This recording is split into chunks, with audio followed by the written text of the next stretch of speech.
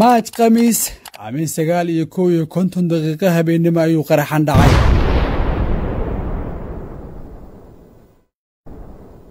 Haari yartan iyo baraadadan ayaa ah raadka keliya ee aan wada arki karno.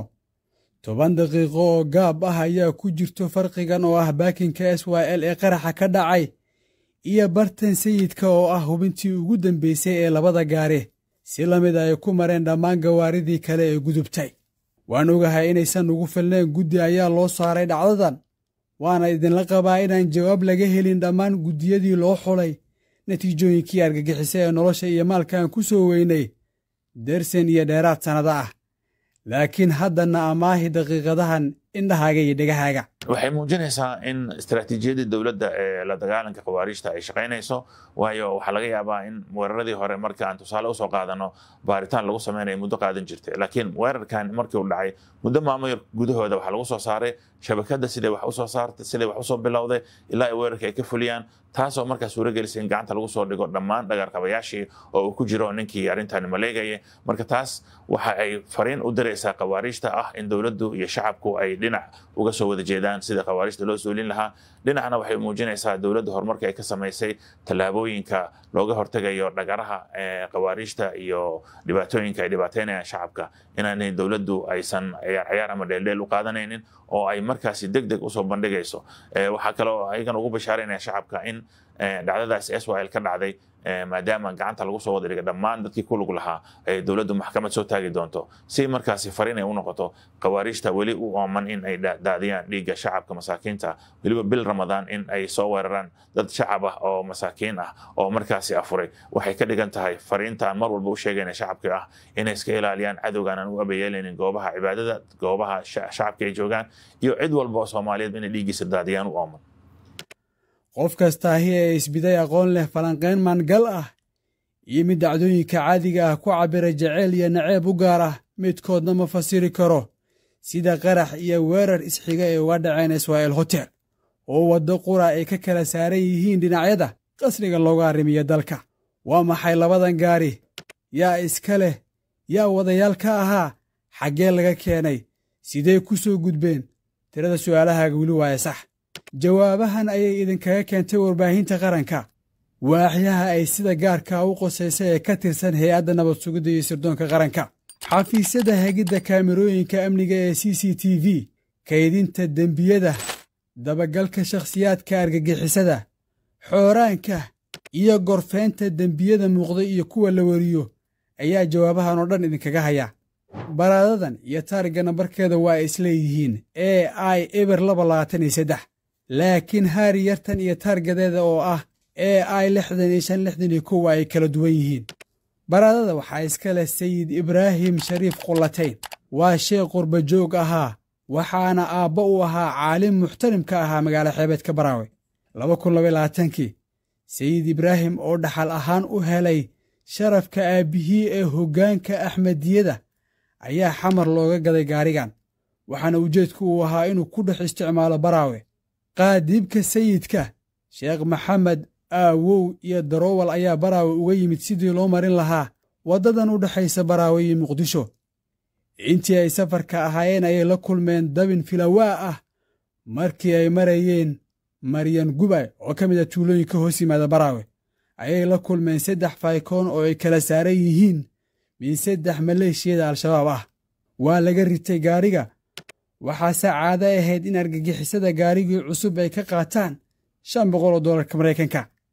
Nasiib xuma al-shabaab oo leh dan kale ayaa ku xirtay sii deynta gaariga inuu sayid ibraahim yimaado kuntuwaarey ma tegin sheekha halkaasi ilaa mar dambe gaarigii jilib la geeyo. Sayid ibraahim tii alla ayaa u timid sagaal cisho uun kadib markii uu ka biyo diiday goodintii khawaariijta waa isla fahanay in argagixisada ay heshay gaari kaalayska araga hadday gaadiidkaaga dhacaan oo ay kugu yimaadaan nabiga salawatullah wasalaamu caleyh waxaa la weydiiyey ka warran nin hadduu yimaado xoolahayga damco inu iga qaato ha ka yeelin buu yidhi. Hadduu ila dagaalamo ka warran la dagaal buu yidhi. Haddaan dila ka warran oo hadduu i dila ka warran shahiid baa tahay buu yidhi. Haddii aan isaga dila ka warran wuxuu yidhi dhiiggiisu hadur weeye buu yidhi. Waana ahlu naar ayuu yidhi nabiga salawatullah wasalaamu caleyh marka dadka xoolaha intay dhacaan doonaya inay ku sameeyaan faldambiyeed lagu dilayo qof muslim ah horta xoolahaaga u saamixin inay dhacaan kula dagaalan. Alle marka koowaad hadday kaaga taagroonaadaan oy kaaga awood bataanna wadegar ma aha cadowgii iyo maafiyadii iyo waxaa la yidhahda dooxatadii ku dhacday inaad u gardhigato tiraahdo xoolahayga ii soo celiya waayo ujeedadu kaaga dhacay buu qabaa.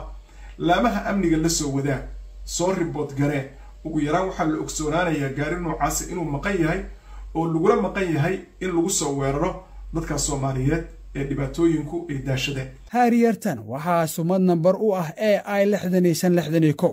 Laakiin taarigadeeda waxaa iskale gaari hoomey ah oo la dhacay laba kun labaatankii laguna dhacay deegaanka doonka ee afgooya ka tirsan. Waxaa iska lahaa gaarigaas haashim sheekh mukhtaar xilligaasi oo argagixisada saddex gaari u gacan galay baad lagama rabin laakiin waxaa marmarsiyo looga dhigay inay la shaqeeyaan ciidamada difaaca kaga jiro xarumahooda belidogle waxaan caddaynayaa anuu haashim sheekh mukhtaar sheekh cabdiladiif ah in baawur caasi aan lahaaye caasigeyn ay iga qaateen al-shabaab.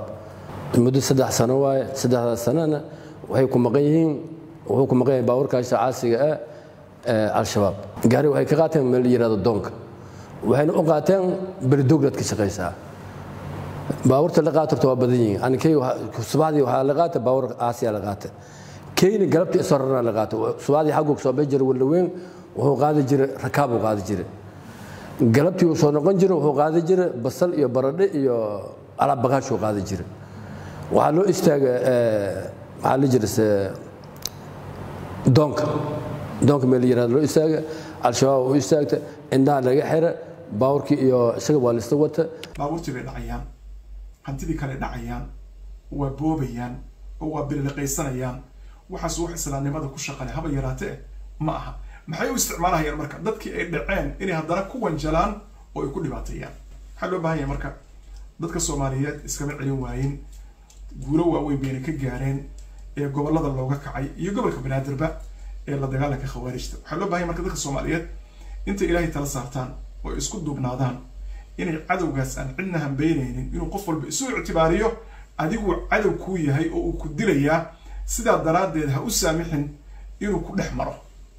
Ha u saamixin inuu ku ag maro adigoo ogsoon. Ha u saamixin inuu dantiisa gaaro limaada? Kama shaqaynayo. Dadkan horumarkooda iyo guushooda wuxuu ka shaqaynayaa guuldaradooda iyo naxdintooda iyo dhibaatadooda ayuu ka shaqaynayaa. Hadda waa isla ogolnahay gaari iyo taarigaan islahayn bal markaan lixdan jirkan ku dhashay tuulada dugulle oo wallaweyn shabeellada hoose ka tirsan ayaa ah wadaha haariyarta ahna hagaha baraadadan. Ma jirto udusidda iyo kabixista muqdisho caddayn aqoonsi oo ku xidhan waase qasab in xarun dowladeed aad u haysato. Aqoonsi ka mid ahaanshiyo ama oggolaanshiyaha hay'addaas marka aad gelaysid. Cabdinaasir daahir nuur jimcaale oo caan ku ah guri ma leedahay waa daroowal caanka ah koonfurta waana beryaqaan xusbad ku dhexaysto xirfaddiisa waana ka mid liiska argagixisada uu soo ahaa ilaa laba kun iyo labaatankii. Isaga keliya ma aha ee waxaa safka khawaarijta kula jiro cabdulaahi iyo maxamuud oo ay wada dhasheen. Calashaan ilmo daahir nuur jimcaale. Cabdulaahi daahir nuur jimcaale janaale qoryoole reer miyiga deggan ayuu argagixisada wakiil uga yahay ba'da inuu uga qaado. Waxaana uu deegaan ahaan ku dambeeyey doon buraale oo qoryoole hoos tagto. Maxamuud daahir nuur jimcaale oo la bah ah cabdinaasir xamar ayuu argagixisada kala shaqeeyey. Si gaar ah dirarka gaadmada ah laakiin islamarkiiba oo uu ka baxay muqdisho kadib qaraxii s y l. Xasan cilmi nuur jimcaale oo la ilmo adeer ah guri ma leedahay. Intaan ka ognahay waa howlwadeennada hoose ee mahadkaratay oo ah mid ka mid a xididada kooxda. Xasan waxa uu cabdinaasir u sii ahaa adeego hoose oo gawaari badan argagixisada ugu geeyey keemaha dalkan ay kaga dhuumaalaystaan cabdinaasir oo u jawaabay tv-ga qaranka ka hor bandhigga kama dambaysta ah ee sharciga ku bariyeeli karo ama uu ku xanibi karo ayaa dhacdadan kaarintiisa in la wadaagayo. Waxaa isoo wacay nin ilkacsa la yidhaah wuxuu yidhi baaburka sahaarigaa ninaa saaran reer biyaana gey adi biyaana iska dhig ka tag. Waa soo waday kulliyaddaan soo maray tarabuunkaan soo maray waana la baaray. Biyaanaan keenay maqaayadan ka afuray hoogaa ka afur kabaa iga go'ay. Meesha oo barxadda oo laami dhinacan kale ah aan ka soo gatay kabo. Waa soo wada waa imaaday maxaa irniyo wado baaburkaaga. Cunugii ya? Meeshii inaan kaga dego marka. Anaa waqtigaan la shaqeeyo tirada ka baanta laakiin wax yar. Ma fahamti baawur qooqan ahaan ka wadaan ku dhaha magaalada kunyaan ugu geeyey anigu ma aana gadin laakiin soo wadaa la yiri waana wad baar wax. Baawurka maalinkaas u waday boqol doolar la siiyey. Marka kaloo alaabta yar u gado wixii business ka soo hara lacagtaas ay siinayeen. Markaan u baahdo aniga oon wax u baahdana waa wacanayo warnimayahow waxaan leeyahay maanta jagadu waa xaalku waa iisu tuuraya laakiin wax joogta oo shaari ma qaadanin markaas ayagu awooddooda labaatan ha noqoto soddon ha noqoto konton ha noqoto iisu tuuraya cadow shacabka soomaaliyeed waxyeeleynaya aan waxba u aabayeeleynin waxa ugu horreeya aan shacabka la wadaagayna waxa ay tahay in ay ogaadaan in cadowgaasi uusan cidna u aabayeeleynin oo masaajidadii goobihii cibaadada goobihii dugsiyada goobihii caafimaadka intaba u beegsanayo. Marka waajibka saaran qof walba oo soomaaliyeed waxa weeyaan in uu gacan ka siiyo dowladda sidii khawaariijta loo ciribtiri lahaa gacan ay ka geystaan sidii ay u soo gudbin lahaayeen xogaha ay ka helaan khawaariijta si dagaalkan uu noqdo dagaal wada jir ah oo waddankani lagu badbaadinayo. Ilaa haatanna guulaha la gaaray shacabka ayaan kaalinta koowaad siin lahaa amaba aan siin lahayn hambalyo ku aadan sida ay iskaashiga wanaagsan u muujiyeen. Ciidamaduna runtii naftooda ay hureen oo wax wanaagsan ayay qabteen. Laakiin shacabka wax mar walba mar kale ku boorinaya inay ogaadaan in cadowga koowaad ay leeyihiin ay yihiin khawaariijta. Isla markaana ay ka feejignaadaan goobaha ay tegayaan sida cibaadada dugsiyada qur'aanka iyo suuqyada. Intaba ay khawaariijtu doonayaan in dhagaaraha ka geystaan marka shacabku ha feejignaadaan indhahooda ha furnaadaan iyagoo shaqooyinkooda wata oo aan wax cabsiya aysan qabin laakiin haddana indhahooda ha u furnaadaan in ay mar walba ciidamada ama balaamaha amniga la soo socodsiiyaan wax walba ay ka shakiyaan haryartan ekis kontarool ayay ka soo gudubtay. Ismiidaamiyihii gaariganna waa dhinac fadhiyaa jidka warshadaha ayay sii qaadeen. Waxa uu la soo leexday kulliyadda jaalisiyaad waana kuwan ciidanka isku dhafka ee buliiska iyo nabad sugidda oo waajibkooda sidii caadada ahaydba ka gutay. Kadib taleex kadib maka almukarama ilaa taree biyaano oo ay ku baakinteen gaarigan waana meeshaas meesha ay xoogaa sheetara sheetara ah ay ka sii calaliyeen. Waana meesha lagula wareejiyey gaarigan naftii halligahan gaarigan baradada ah. Maba ka leexan waddada ekis waana tan si la mid ah ay ciidanka uga gudanayaan waajibkooda markasay biyaan uu soo gaaray. Waxa uuse ka leexda nambar afar dhanka dalcadda cabdiqaasim waana kan isla waddadii haariyarta ku timid ku yimid ee taleex dhaqan ahaan dhaqaaqooda waxa uu u eg yahay raadhumin laakiin maseegtaa diiwaanka ku kaydisay c c t v. Hadda taree biyaana la wada joogaa. Daqiiqadaha isdhaafsan wixii ka dambeeyo waa daqiiqad ugu yaraan ugu badnaana shan daqiiqa camal. Cabdinaasir waxa uu uga soo haray markii la marayay imigreshinka labadanna waa daroowalo mid marka laga reebo kan kale waxa uu ka mid ahaa sharwadayaashii gudaha hoteelka ka dhex dagaalamay. Sagaalka iyo saddex iyo labaatan daqiiqo taree biyaan ayay ka wada dhaqaaqeen gawaaridan. Shaqaalaha debka sayidka ayay marayaan. Ciidankana waajibkooda kama tagaan. Xitaa koofiye castii ilaalada madaxtooyada wax uga duwan habeenadoodii shaqada ma aysan arkin. Ilaa guugaca iyo jabaqa rasaasta ay maqleen toban daqiiqa iyo dheeraad kadib waa isdhihi karnaa sidee intaas oo baro hubin ah uga gudbeen gawaarida sharwadayaashii argagixisada u rarnaa? Waana isweydiinaysaan aawen ciidanka iyo hubka baabuurtan xaragada ah saarnaa. Cadeymaha aan helna ayaa sheegaya in la isticmaalay kaarka aqoonsiga golaha shacabka. Ma jirin tuuto ciidan oo ay argagixisada wadatay kuwa dagaalamay iyo kuwa soo gudbiyey gawaaridan mana ka muuqdaan kaamirooyinkan wax u eg raad hub iyo qarax. Mana sheegin ciidamadii heeganka ahaa ilaa eki shaqadana haya habeenkaas agab ciidan iyo ciidan ku soo gudbay gawaaridan. Sagaalka iyo afartan daqiiqo sagaalka iyo kow iyo afartan daqiiqo ayay bartan ka gudbeen. Sagaalka iyo kow iyo konton daqiiqana sidaan ay wax u dhaceen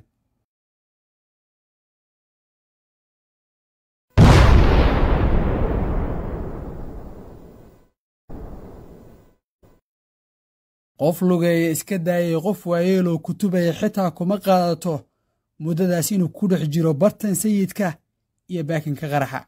Masjidka isbahaysiga ayay si lamida ku dukadeen dadka shacabka ah ee u soo cibaado doonta saddex dhagarqabe dadkaas marka isugu tegay inay dad muslimiin ah oo soo tukaday oo ee haalidoodii ka soo maqan oo maanta soomanaa oo berri inay soomaan raba oo danahoodii ka wada shaqaysanahayo horta waxay ku jiraan kabiiro ka mid a kabaa'irta waaweyn islaamnimada. Haddiiba aan ogolaano on u saamaxno inay islaamka ku jiraan. Waayo dad aan tukanaynin oo dad tukanaya ku dhex dhuumanaya kuwo kaloo tukadayna inay laayaan doonaya diinta lagu sheego kollay lama yaqaano. Nabigu wuxuu leeyay salawatullahi wasalaamu calayh low ana ahla asamaawaati wa ahla alardi ishtarakuu fi dami mu'minin laakabahum allahu fi nnaar haddii ahlu samaawaadka iyo inta arlada joogta ay ku midoobaan ay isugu tagaan inay dilaan qof mu'min ah oo hal ah ilahi subxana wa tacala dhammaantood naarta ayuu ku shubaa. In muslimka la argagixiyo ama laga nixiyo ama wixiisa la qaato ayana waa la reebay oo wuxuu yidhi nabiga salawatullahi wasalaamu calayhi la ya'khudanna axadakum mataaca akhiihi laaciban walaa jahdan qofna yaanu qaadanin alaabta qofka walaalkiisa ah ama ciyaar ka noqoto ama dhab ha ka noqoto. Qaraxyada dhacayna waxay u samaysnaayeen si la mida kuwa dhajiska oo xajmi ahaan fidsan sida khubarada amniga u dhigaan. Ma jiro qof xabadi wax ku noqday oo ka mid ahaa mas'uuliyiintii iyo madaxdii jooga hoteelka. Badi dhaawacyo isbuurasho iyo bootin isbadbaadin ah ayaa gaaray. Waxa keliya ee khasaare dhimasho qarax ku noqday gaareen waa ciidamada gaarka ee haram cad iyo taliyahoodii oo howlgalkan afjarka ah maarayntooda ku jiray. Intaas kadib waxaa wax laga beddelay habka hubinta ciidamada amniga barahooda waxaa lagu daray jagboontisyo dheeraad ah waddooyinka qaar.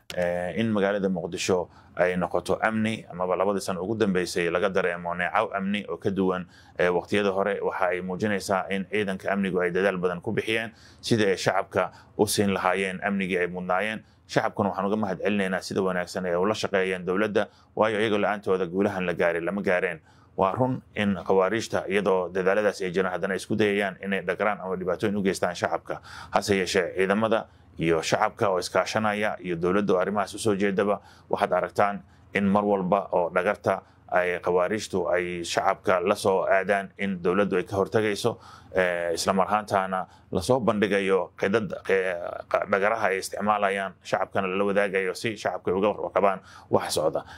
Magaalada muqdisho waa caasimadii dalka waa meesha dad badan oo soomaaliyed ay ku nool yihiin noloshooda iyo quutuldaririgooda ay ka soo saartaan marka marnaba dowladdu ma aqbalayso in shacabka la dhibaateeyo ciidanka soomaaliyeed ee u dhaartay inay waddankan difaacaanna runtii way ka soo dhalaaleen kaalintooda dowladduna waxay mar kale ballan qaadaysaa inaysan marnaba aqbali doonin in dhagarta khawaariijtu ay shacabka soomaaliyeed lagu waxyeeleeyo laba iyo meel in ay weeraraan. Waa laga yaabaa laakiin taasi micnaheedu maha dowladdu in aysan inay ka gaabinayso dadaalkan amni. Hawshan waa howl aad u adag oo aad u dheer. Guulaha laga gaarina waxa ay runtii muujinayaan sida dowladdu ay ga go-an tahay in magaalada muqdisho iyo dalka soomaaliya o dhan ba lagu xoreeya khawaariijta soomaaliyana ay noqoto waddan shacabkiisu ay markaasi diiradda saaraan dhinaca horumarinta iyo wada noolaanshaha. Halka maanta aan ku wada jirno halgankan dalka looga xoreynayo khawaariijta